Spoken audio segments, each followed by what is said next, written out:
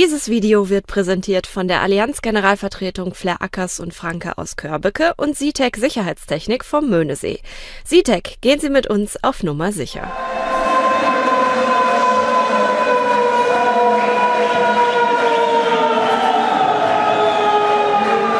Um den am Ende glatten 7 zu 4 Erfolg gegen Troisdorf zum Heimauftakt der Saison 2011-2012 bejubeln zu dürfen, mussten die Börde-Indianer ganz schön hart arbeiten. Unnötige Fouls führten die in Wiel zu Strafen, die eigentlich vermieden werden sollten. Wir wissen, was wir gegen Wiel falsch gemacht haben.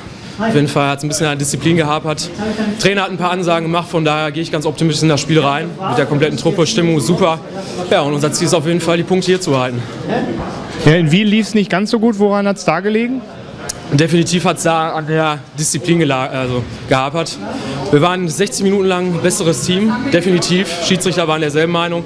Aber wir haben uns im Prinzip durchs Spiel der Wieler mitreißen lassen, zu viele Strafzeiten bekommen. Und wenn man von 60 Minuten, 50 Minuten in Unterzahl spielt, wird es auch, äh, wenn das Potenzial besser ist, trotzdem schwerer, so ein Spiel nach Hause zu fahren.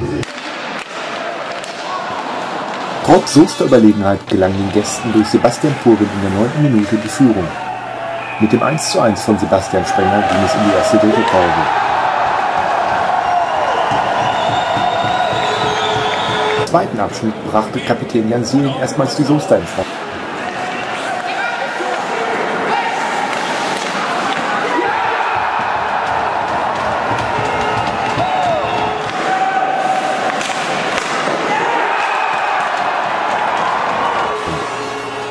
Nach Jan Buschmanns 3 zu 1 schien eigentlich der Drops schon gelutscht zu sein.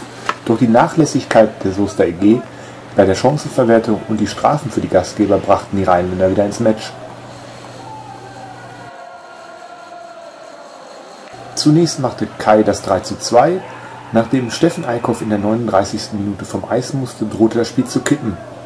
Doch mehr als den Ausgleich durch Tobias Müller schaffte Trostorf nicht.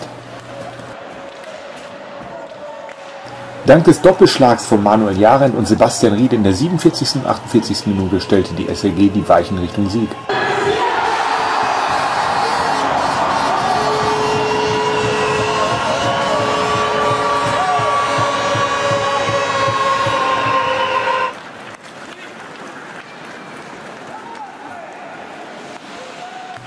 Stefan Sprenger erhöhte kurz danach auf 6 zu 3.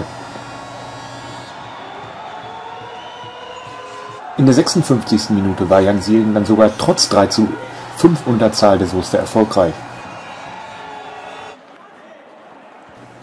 Der vierte Treffer der Gäste kurz vor Schluss durch Dominik Patt fiel dann nicht mehr ins Gewicht.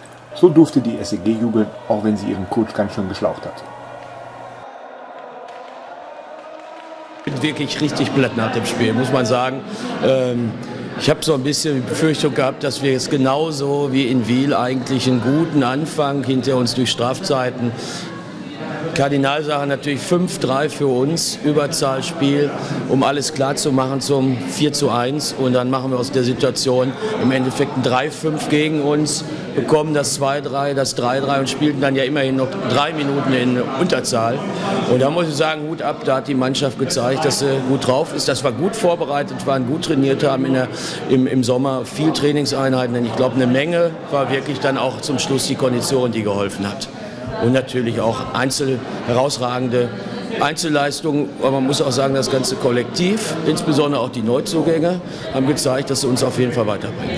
Nächste Woche geht es dann gegen Köln oder nach Köln. Wie sind da die Aussichten? Wie ich schon immer gesagt habe, also mit Ausnahme von Neuss sind das alles enge Spiele. Das hätte heute hier auch anders kippen können noch. Äh, also von daher, Köln ist vom Niveau her ähnlich wie, äh, wie Treusdorf, haben in der Vorbereitung 6-7 verloren, denkbar knapp. Also wir können uns äh, diese Saison in der Hauptrunde auf sehr, sehr spannende Spiele und da entscheiden Nuancen. Dieses Video präsentierten die Allianz Generalvertretung Flair Ackers und Franke aus Körbecke und Sitec Sicherheitstechnik vom Möhnesee.